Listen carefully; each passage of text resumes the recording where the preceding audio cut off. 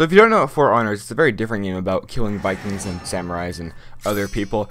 And it's a very intense game, but it's also a very anticipated game. A lot of people are very uh, anticipating this a lot in this coming year and it comes out on Valentine's Day which is just over a month away so or just under a month away so I figured that since the system requirements were released I would go over them today this is going to be a short video, but let's get into it anyway. So for the minimum CPU, or for the minimum requirements in general, you're going to be looking at an i3-5500 or AMD Phenom 2X4955 or equivalent, something around that. You're going to want 4 gigabytes of RAM, and they have a lot of video cards uh, listed. So you're looking at like something like a 560 Ti or an AMD Radeon HD 6870.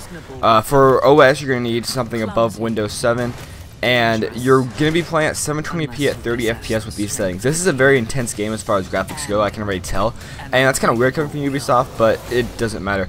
Um, 720p is not great, in my opinion, and 30 FPS is even worse, so I would really go into this game with something a little bit better than this stuff. So, i3-5500 and the Phenom 2 X4 are very, very old CPUs. They're probably from 2011, I want to say, so they're six years, six years old now, and um, PC hardware has just gone straight up from there. It's, it's nothing like uh, it was back in 2011, so I really think that if you built your PC in the last three years or so, you should have something better than this. Even like a Intel i i3 like Pentium would probably do pretty well in here if you can overclock if you did if you went that route.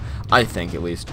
Um, and then in AMD Phenom, any FX series would probably be better as far as as far as uh, AMD goes. You know, 6300, uh, 4350 uh, which is a great CPU. All those things are going to be a lot better than the minimum CPU requirements, and you probably have them in your build if you've built it in the recently, I guess. So for the RAM, you're looking at 4 gigabytes, which not a lot of people um, have a minimum of 4 gigabytes right now. It's going towards 16 gigabytes of RAM uh, in the recommended, and you're wanting 8 for minimum. But they only need 4 gigabytes of RAM to run this thing, which is even better because you can just run this thing on low and just like stream it, or you can do whatever else you want with because uh, it takes up less RAM, which is always great.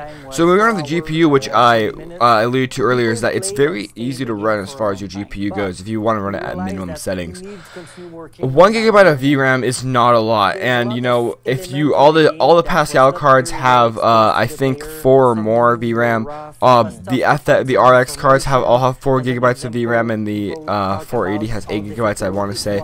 So you are going to be running this game perfectly fine if you have any newer card.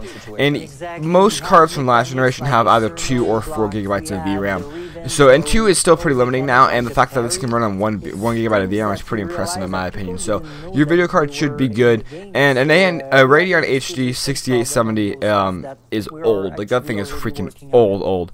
So, I think you should be fine. And then the OS is obviously normal. You're need 64, uh, you need 64-bit OSs to run this game, which is normal.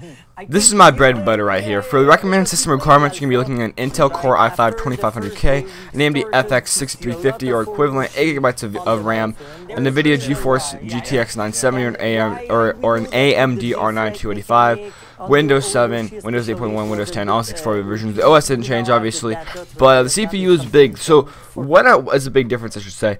Um, the the big difference here is that it goes from not only an i3 uh, first gen to an i5 second gen, which is pretty big, but actually the AMD stuff is even bigger. Phenom 2 X4 to a 6350 is a pretty impressive leap and uh, it's a little more than I expected to be completely honest. Uh, most people, the i5 is a pretty, is an older one, uh, not as old as the Phenom, uh, but it's still pretty old.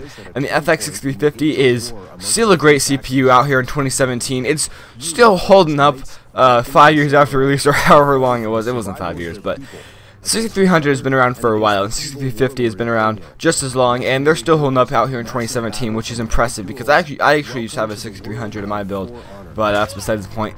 8 gigabytes of RAM, which is again normal. If you built, if you have a gaming PC, you have 8 gigabytes, 8, 8 gigabytes of RAM, if not more. So that's not that, that big of a deal.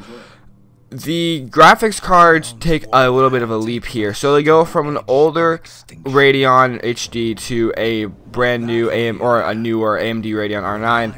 So that's kind of a big leap, and also the NVIDIA GeForce goes from 560 Ti to a 670, which makes me think that it's not that hard to run this game because again both those are very very not very very old, but they are older, and most people have Pascal or RX cards now. It's, I think I like to think most people, maybe not. So that's kind of a big leap, and that's kind of interesting to me. And when you're gonna when you be playing on recommended, you're gonna be playing at 1080p at 30 FPS, which I think they should have really listed this at 60 FPS because you want to always play games at 60 FPS on PC. So maybe you're gonna need someone closer to a 750 Ti or a R9 350 or, or 370, I think is what it's called. Yeah, 370, 380, something closer to that because, um, or maybe even an RX 460 because I think that um, you want to play it more like 60 FPS or closer to 60 FPS than at 30 FPS. Overall, I would like to see like an ideal settings uh, system requirements because these ones are kind of old uh, as far as like the hardware goes. So I'd like to see like ideal settings where you can literally just max out the game with the ideal settings. And both the minimum and recommend are both actually only sitting at 30 FPS, so that really sucks. But um, no, anyway, I think that I would really enjoy an ideal an ideal system requirements for this game because it it'll just make things a lot easier to see how you can run it with your hardware uh, as opposed to like the recommended hardware, or how you can like basically maxing out what it takes to max the game out. With that, my name is Z-Star. I hope you guys enjoyed this video. If you guys did, go ahead and like it. Guys, dislike, go ahead and dislike, go ahead and comment down below and tell me why you rate it like you did. I'll see you guys in the next video.